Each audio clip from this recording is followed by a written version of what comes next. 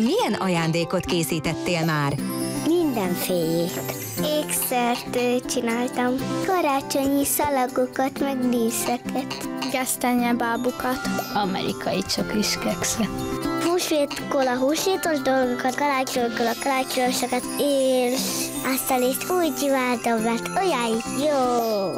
Tanuljátva a kreativitásról minden nap a Jim Jam-en.